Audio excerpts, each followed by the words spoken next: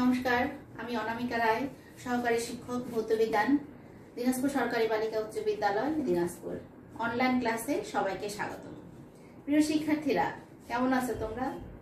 অনেকদিন পুজো ছুটে গেল, সবাই নিশ্চয়ই অনেক ভালো আছো। অনেক মজা করছ পূজায়, আমিও ভালো আছি। তো আসো, এখন আমরা শুরু করি। এর আগে তোমাদের আমি পাটিগণিত এবং বীজগণিত সম্পর্কে আলোচনা করেছি। আমার আজকের আলোচনা শুরু হবে জ্যামিতি। দিয়ে তো প্রথমেই আসি যে জ্যামিতি। জ্যামিতি বলতে তোমরা কি বুঝো? জ্যা শব্দের অর্থ ভূমি আর মিতি শব্দের অর্থ পরিমাপ। অর্থাৎ জ্যামিতি বলতে আমরা বুঝি ভূমির পরিমাপ।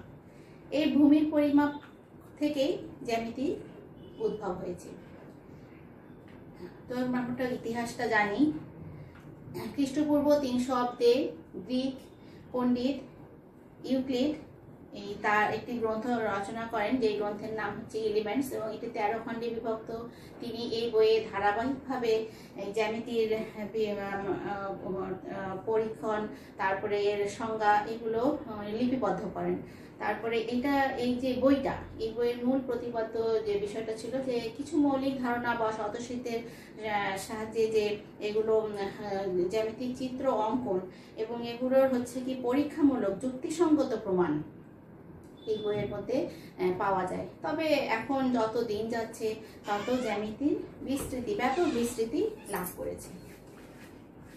তো এখন আমরা শুরু করি জ্যামিতি। দেখো তোমরা যে জ্যামিতি হ্যাঁ জ্যামিতির কিছু কিছু জিনিস জানা আমাদের অত্যন্ত প্রয়োজনীয়। এর মধ্যে প্রথমেই আসি ঘন বস্তু। ঘন বস্তু বলতে তোমরা কি বোঝো? যেসব বস্তুর দৈর্ঘ্য, প্রস্থ, উচ্চতা আছে, তাদের ঘন বস্তু বলে। উদাহরণ তোমরা দিতে পারবা? বলো তো, উদাহরণ কি? উদাহরণ হচ্ছে ইট, বই, সাবান মানে আমরা যেটার সাথে খুব বেশি পরিচিত আমাদের বই, আমাদের বইগুলো কিন্তু ঘনবস্তু এবং ঘনবস্তু দেখবা যে দৈর্ঘ্য আছে, প্রস্থ আছে, উচ্চতা আছে। তো এই যে একটা বই, তোমাদের যে গণিত বইটা, এটা একটা ঘনবস্তু এটা দৈর্ঘ্য কোনটা বলো তো? এটা হচ্ছে দৈর্ঘ্য আর এটা হচ্ছে প্রস্থ। আর এই যে, এটা হচ্ছে উচ্চতা। তাহলে আমরা বলতে পারি যে যার দৈর্ঘ্য প্রস্থ উচ্চতা আছে, তাই হচ্ছে ঘনবস্তু। তারপরে আসি আমরা স্থান। স্থান বলতে আমরা সাধারণত কি বুঝি? কোন একটা বস্তু কি করবে, যতটুকু জায়গা দখল করবে হ্যাঁ যে যতটুকু, সে যতটুকু জায়গা দখল করবে, সেটাকেই বলা হচ্ছে তার স্থান। কোনো একটি বস্তু যতটুকু জায়গা দখল করে থাকে, সেটাই তার স্থান। তারপরে আসো তল। তল বলতে আমরা কি বুঝব? কোনো একটি বস্তুর উপরিভাগ থেকে যদি আমরা লক্ষ্য করি, তাহলে কিন্তু তল সম্পর্কে একটি বস্তুর কি হবে? যদি আমরা একটি বই বিবেচনা করি বা ইট বিবেচনা করি, এর ছয়টি পৃষ্ঠ আছে এবং এই ছয়টি পৃষ্ঠকেই ছয়টি তল বলা হয়। এরপর আমরা আসলাম কি? প্রথমে তাহলে আমরা কি আসলাম? যে প্রথমেই আমরা আসছি হচ্ছে ঘন বস্তু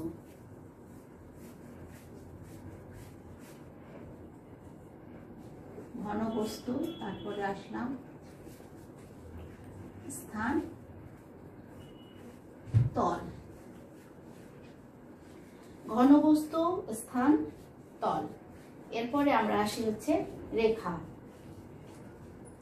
আর একটা জিনিস, সেটা হচ্ছে যে বিন্দু। বিন্দু বিন্দু বলতে বোঝায়, শুধু যার অবস্থা একটা দিলাম, এটাই হচ্ছে বিন্দু। শুধু যেটা অবস্থা আছে, সেটাই হচ্ছে বিন্দু। তাহলে আমরা কি কি আলোচনা করলাম? দেখো, ঘনবস্তু, স্থান, তল, বিন্দু। এরপরে আসো রেখা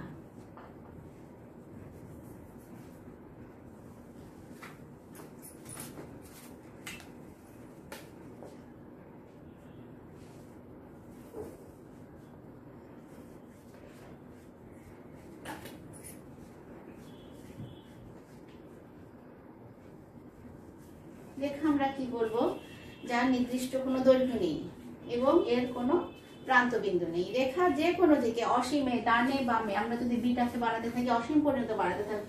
এ বিন্দুকে আমরা অসীম পর্যন্ত বাড়াতে থাকব। এই জন্যই বলা হচ্ছে যে রেখার নির্দিষ্ট কোনো দৈর্ঘ্য নেই এবং এর নির্দিষ্ট কোনো প্রান্ত বিন্দু নেই। প্রান্ত মানে কি? শেষ। তার মানে এর কোনো শেষ বিন্দু নেই। এটা চলতেই থাকবে চলতেই থাকবে। রেখার পরে রেখাংশ।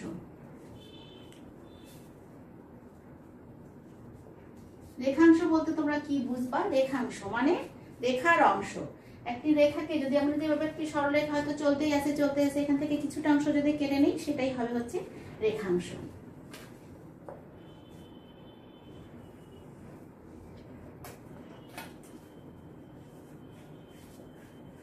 তাহলে রেখাংশ কি বলব? যে এর নির্দিষ্ট দৈর্ঘ্য আছে এবং এর দুটো প্রান্ত বিন্দু আছে। এরপরে রশ্মি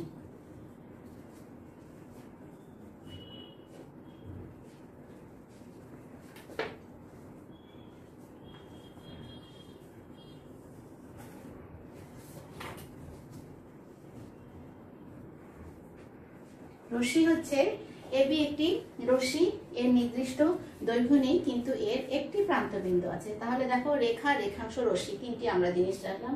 যার নির্দিষ্ট দৈর্ঘ্য নেই এবং কোনো প্রান্ত বিন্দু নেই। রেখাংশের নির্দিষ্ট দৈর্ঘ্য আছে এবং দুটি প্রান্ত বিন্দু আছে। আর রশ্মির নির্দিষ্ট দৈর্ঘ্য নেই, কিন্তু একটি প্রান্ত বিন্দু আছে। এরপরে আমরা আসব কোণ।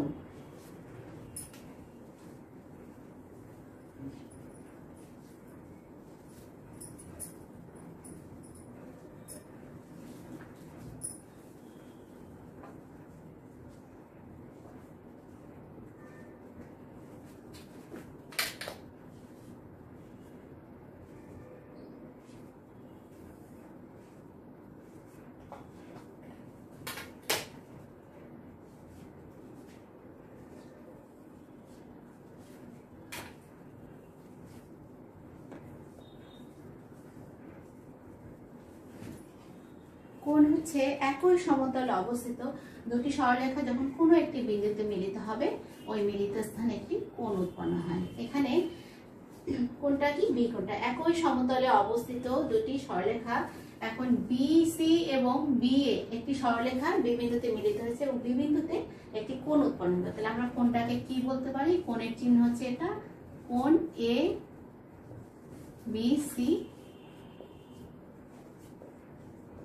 একটি কোণ।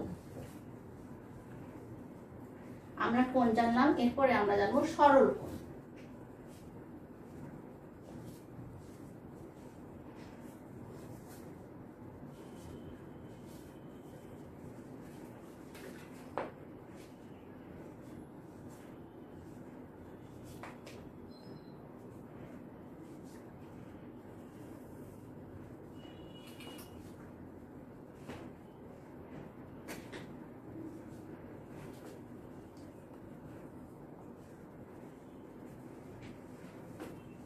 সরল বলছে যে দুটি পরস্পর বিপরীত মুখী এই রশ্মি যখন তাদের কোনো একটি প্রান্তবিন্দুতে মিলিত হবে, মিলিত হলে যে কোণ উৎপন্ন প্রান্তবিন্দুতে প্রান্ত বিন্দুতে যে কোণ উৎপন্ন হবে সেটাই হচ্ছে সরল কোণ এই এ, সি এবং এবি সরলরেখা দুটি পরস্পর হচ্ছে কি হবে? এদের প্রান্তবিন্দু এ, এতে মিলিত হয়ে কি হবে? একটি কোণ উৎপন্ন করবে। এই কোণটাই হচ্ছে সরল কোণ দেখো সরল কোণের মান কিন্তু একশো আশি ডিগ্রি।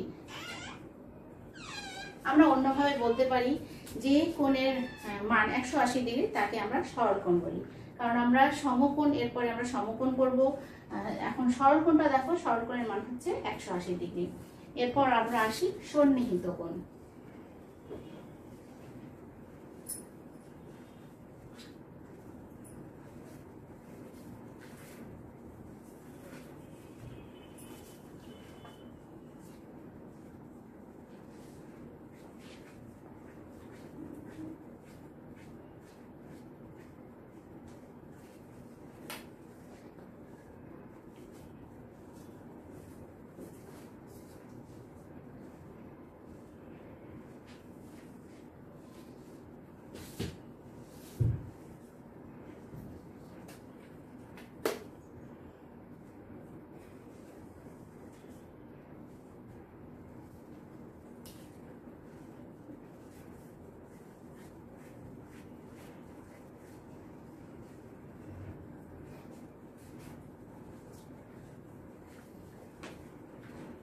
সন্নিহিত কোণ আমরা কি দেখতে পাচ্ছি? দেখো যে যদি একই সমতলে অবস্থিত দুটি আহ, কোণ এই যে সন্নি দেখো যদি কোনো তলে দুটি কোণের একই শীর্ষবিন্দু হয় এবং কোন দ্বয় একটি সাধারণ বাহুর বিপরীত পাশে অবস্থান করে তবে প্রত্যেকটিকে আমরা কি বলব?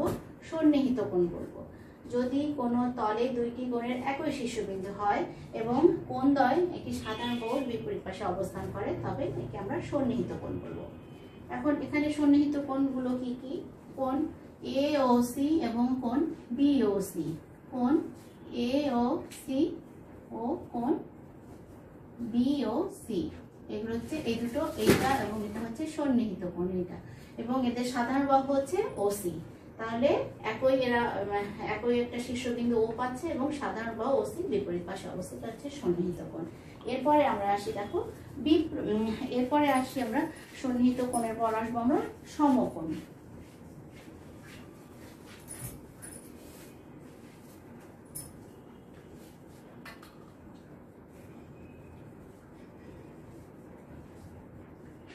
সমকোণ তোমরা সবাই পরিচিত, আমরা কি জানি?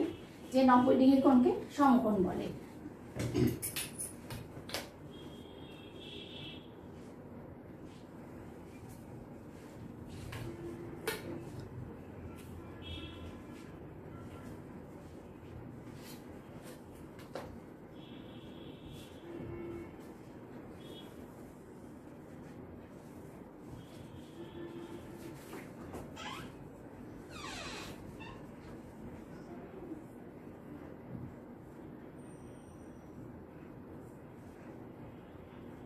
তোমরা যে কোনো এ বি সি ডি যা ইচ্ছাতে দিতে পারো, শুধু মিলায় দেখবে যে ঠিক আছে কিনা। তাহলে সমকোণ আমরা কি দেখতে পাচ্ছি? বলছি যে যদি একই তলে অবস্থিত দুটি সন্নিহিত কোণ পরস্পর সমান হয়, তবে প্রত্যেকটিকেই সমকোণ বলে। একই তলে অবস্থিত দুটি সন্নিহিত কোণ পরস্পর সমান হলে এদের প্রত্যেককেই সমকোণ, এক সমকোণ বলে। দেখো, এটাও নব্বই ডিগ্রি, এটাই নব্বই। এখন একই তলে অবস্থিত আমরা কি বলতে পারছি? যে বিএসি একটি তলের একই তলে অবস্থিত দুটি সন্নিহিত কোণ কোণ সিএডি এবং কোণ বিএডি এই দুটি হচ্ছে দুটোই নাইনটি ডিগ্রি এবং আহ, এগুলো- একে আমরা বলব সমকোণ। এরপরে আসি আমরা দেখো সমকোণ পড়লাম সন্নিহিত কোণ পড়লাম এরপরে আমরা আসব কি? পূরক কোণ তারপরে সম্পূরক কোণ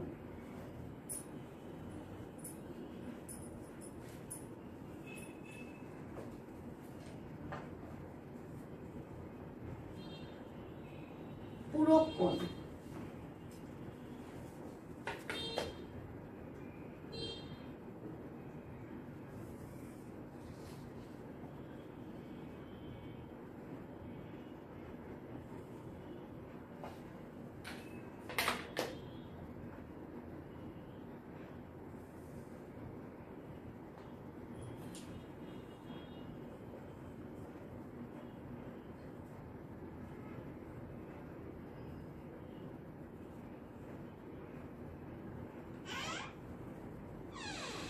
পুরো কোণ দুটি কোণের সমষ্টি যখন নব্বই ডিগ্রি হবে, তখন এদেরকে কি বলবে? একে অপরটির পূরক কোণ হবে। দুইটি কোণ দেখো, এখানে কি কি কোণ? কোণ এ ও সি এবং কোণ সি ও বি দুটি যোগ করলে আমরা নব্বই ডিগ্রি পাবো এই জন্য বলা হচ্ছে দুইটি কোণের সমষ্টি নব্বই ডিগ্রি হলে এদের একটিকে অপরটির পূরক কোণ বলে। এরপরে আসি আমরা সম্পূরক কোণ।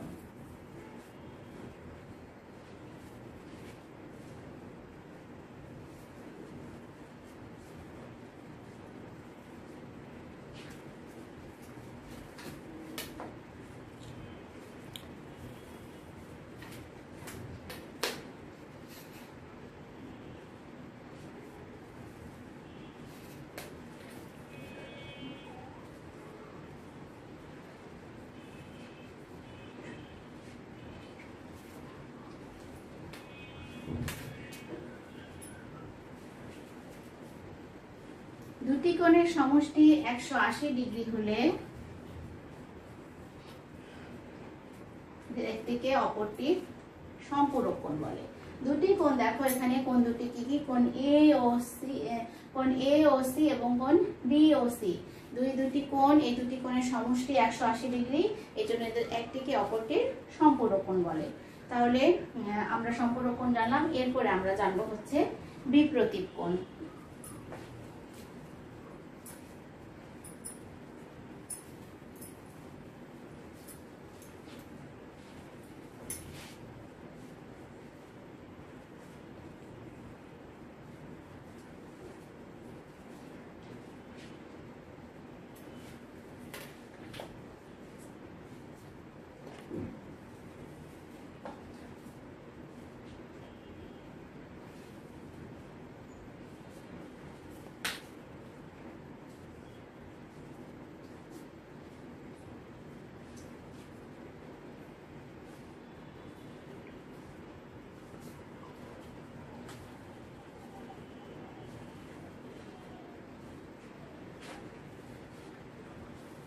এটা হচ্ছে বিপ্রতীপ কোণ। বিপ্রতীপ কোণের সংজ্ঞাটা আমরা কি বলতে পারি? যে দুইটি সরলরেখা পরস্পর কোনো একটি বিন্দুতে ছেদ করলে ওই বিন্দুতে কি হবে?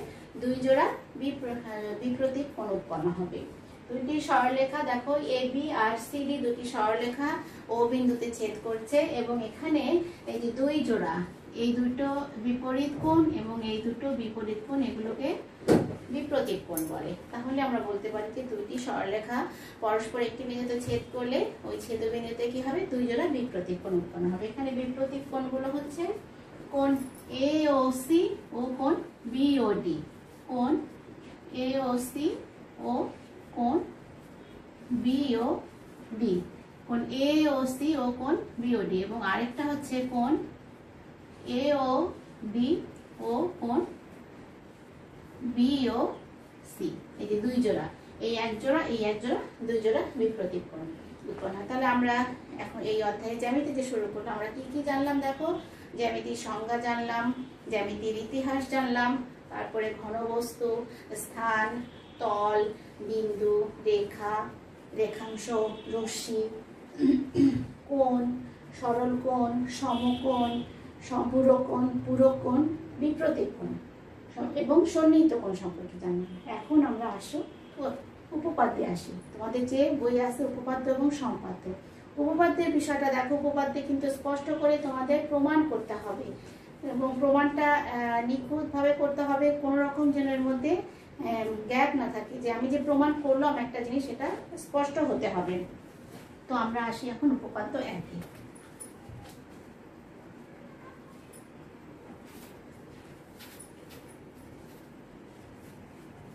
উপপাদ্য এক কি বলছে দেখো? তোমাদের এখানে দেওয়া আছে উপপাদ্য এক।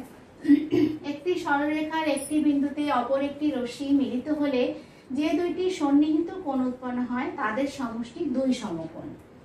একটি সরলরেখার একটি বিন্দুতে অপর একটি রশ্মি মিলিত হলে যে দুইটি কোণ উৎপন্ন হয়, তাদের সমষ্টি দুই সমকোণ। এখানে যে দুইটি কোণ উৎপন্ন হচ্ছে, এখানে ছবিটি দেখো, চিত্রে এবি একটি সরলরেখা ও একটি বিন্দু এখানে ওসি মিলিত হলো। এই যে কোন দুটো উৎপন্ন হলো, কোন এ ও সি এবং কোন বি ও সি এই দুটার সমষ্টি হচ্ছে, এই দুটি কোণের সমষ্টি, দুই সমকোণ, এটা আমাদের প্রমাণ করতে হবে। তাহলে আমরা আসি সাধারণ নির্বাচন।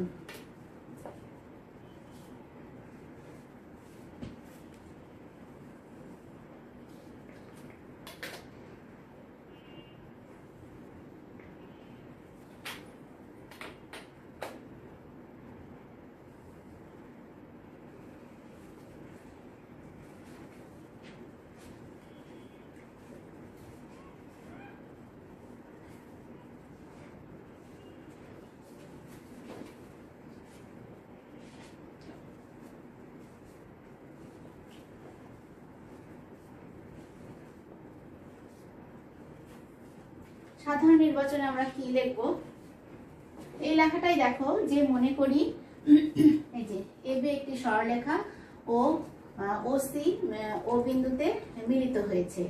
এখানে যে বলছে যে, একটি সরলরেখার একটি বিন্দুতে অপর একটি রশ্মি, তাহলে এবি সরলরেখার ও বিন্দুতে অপর একটি রশ্মি, ও সি মিলিত হয়েছে। তাহলে আমাদের কি কি কোণ উৎপন্ন হবে?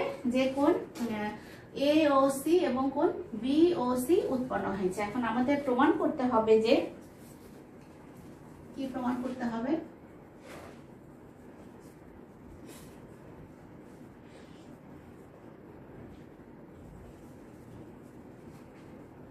হবে যে এ যোগ কোণ বি ও সি সমান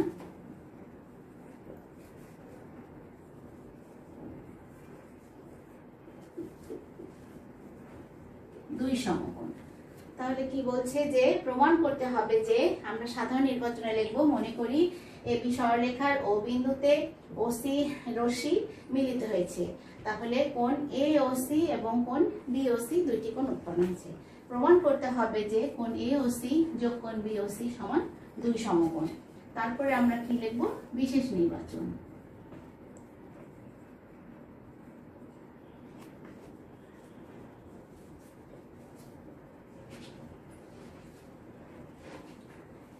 এর আগে অঙ্কন করতে হবে, কিন্তু অঙ্কনটা কি? এবি সরলেখার ও বিন্দুতে ওডি লম্ব আঁকি। এবি সরলেখার ও বিন্দুতে ওডি লম্ব আঁকি। আমরা যখন ওডি লম্ব আঁকলাম, তাহলে কি হবে দেখো তো? এটা কোন এবং কোন এ ও ডি এবং কোন বি ও ডি সমান হবে। প্রত্যেকটি কিন্তু কোন এ ও ডি এবং কোন বি ও ডি প্রত্যেকটি কিন্তু এক সমকোণ। এখন আমরা কি লিখতে পারি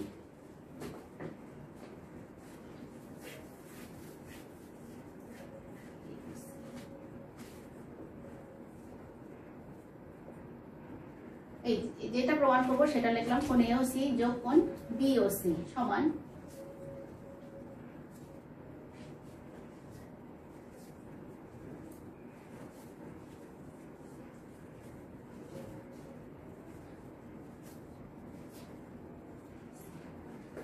তাহলে দেখো কোন এওসি কে আমরা ভাঙলাম, কোন এওডি এবং কোন সিওডি এই দুটো কোন উৎপন্ন হলো যেহেতু রেখে দিতে হবে যেহেতু কোন এ ও সি সমান কোন এ ও ডি ও কোন সিওডি এখন আমরা এ ও ডি তো থাকলোই। এখন দেখো কোন সিওডি এবং কোন বিওসি এই দুটো কোন মিলে আমাদের কি হচ্ছে? কোন বিওডি এখানে লিখে দিতে হবে যে যেহেতু কোন বিওডি সমান কোন সিওডি যোগ কোন?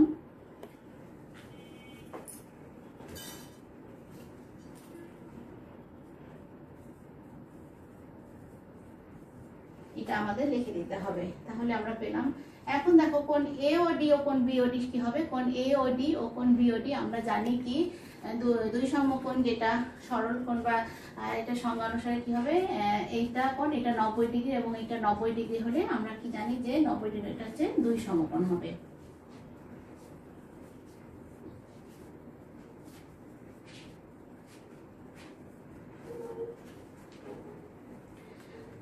তাহলে আমরা কি লিখলাম? দেখো আমাদের দুই সম কিন্তু সমকোণ প্রমাণ হয়ে গেল। কোন এ ও সি ও কোন যোগ কোন বি ও সি সমান দুই সমকোণ কীভাবে প্রমাণটা? আবার আমি তোমাদের বলছি যে আমরা সাধারণ নির্বাচনে লিখব যে মনে করি ও এপি সরলরেখার ও বিন্দুতে ওসি ও বিন্দুতে ওসি রেখা মিলিত হয়েছে এবং যার ফলে কোন এ ও সি এবং কোন বিওসি উৎপন্ন হয়েছে।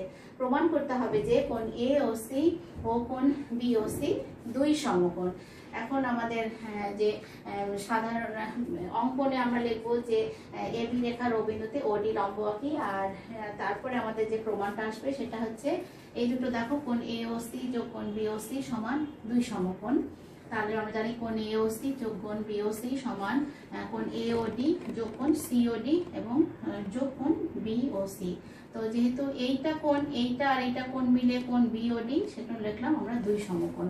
তো আমার মনে হয় যে তোমরা বাসায় খুব সুন্দর করে প্রমাণ করতে পারবে যে হ্যাঁ, এটা আহ, স্পষ্ট হবে। আর আর যদি তোমাদের কোনো সমস্যা থাকে তোমরা অবশ্যই হচ্ছে আমার সাথে যোগাযোগ করবে ফোনে যোগাযোগ করবে আমি সেই সমাধান করে দেব এবং তোমাদের এই উপপাদ্য একটাই বাড়ির পড়া থাকল। তো তোমরা সবাই খুব ভালো থাকো এই তোমরা পড়াশোনা চালিয়ে যাও ভালো মতো সুস্থ থাকো সুন্দর থাকো ধন্যবাদ।